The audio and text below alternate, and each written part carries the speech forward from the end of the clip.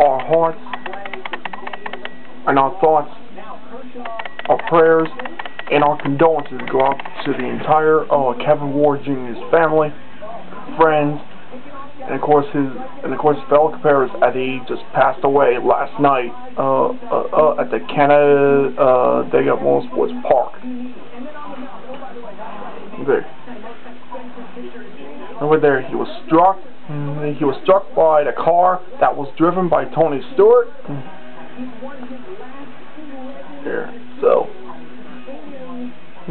But there, but there, and as he climbed out of the car, and nothing ran down to like uh the middle of the track.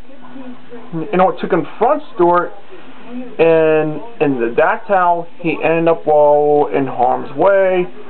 And, and then next thing you know, uh, Stewart's right rear tire struck. Uh, uh, struck him, and then it, uh, uh, um, and it kind of flew him up in the air or or something like that.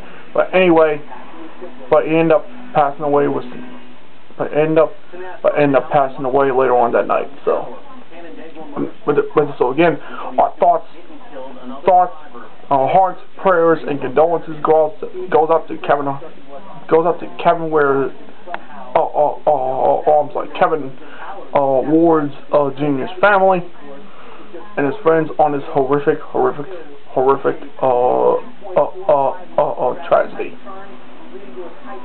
Alright.